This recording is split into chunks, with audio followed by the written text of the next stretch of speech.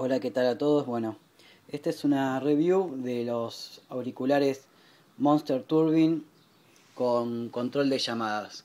Eh, bueno, estuve viendo en, la web en general, ¿no? no solamente en YouTube, y no hay muchas reviews eh, en español. Es más, habrá una o dos, y la verdad que es muy difícil poder, digamos, eh, saber bien cómo suenan y bueno, más allá de lo que puedes ver en la caja. Así que bueno, la, la idea de esta primera parte es hacer una review del contenido de lo que viene en la, en la caja. Y la segunda parte va a ser del sonido, cómo suena, la, digamos, cómo está construido, el confort y compararlo con los Apple Linear de, que, que se venden aquí. Bueno, en Argentina están 639 pesos, pero en Estados Unidos creo que salen 79 dólares. Eh, que vendría a ser la gama alta, entre comillas, de, de los Apple. Bueno, les comento qué es lo que trae la, la, caja. Bueno, acá tenemos la parte, la parte de afuera, cual muestra que está el, control de llamadas, los auriculares. Bueno, para instrucciones. Esto ya lo deben de haber visto en otras, en otras reviews, la verdad que no tiene mucha importancia. Yo lo compré por Amazon eh, y me lo trajeron, bueno, me lo trajo una amiga eh, que estaba en Estados Unidos y vino para acá. Y bueno, la, macana que me quedé sin la caja roja porque era muy grande, entonces me, trajo todo lo demás. Me salió, estaba en oferta en ciento, bueno, no muy en oferta, estaba a 189 dólares, lo que sale en la página, pero con el envío gratuito. Bueno, les muestro lo que, las cosas que vienen. Bueno, vienen los tips. Acá tiene, bueno, diferentes tamaños. Eh, los que parecen como estos de acá, como un árbol de Navidad, son para mayor aislación del ruido exterior. Vamos a probar a ver cómo, cómo resultan. Después viene un clip. Ahí no sé si nota el clip. Para, para agarrarlo a la, no sé, la remera, la camisa. Bueno, acá hay dos medidas de, estos super tips. Y después acá están las medidas small, medium y large. Son, son tres pares, tres medidas diferentes. Y en los auriculares vienen unas puestas. Bueno, después viene folleto.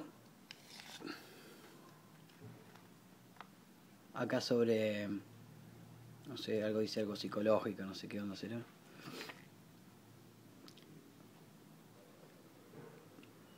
Bueno.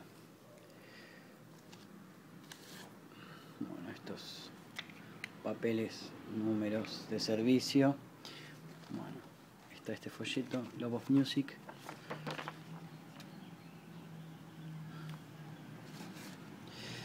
Después está este pequeño manualcito no sé si manual, a ver, o un, folleto de diferentes cosas. Sí, es un folleto con, con otros productos de la, de la línea. Y después acá está, supongo que será la garantía. el manual y la garantía. Bueno, ¿qué es lo que viene además de estas cosas? Viene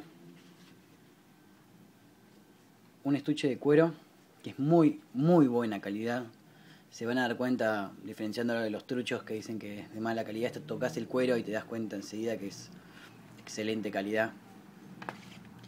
Es como que viene con un botón, pero es un imán. A ver.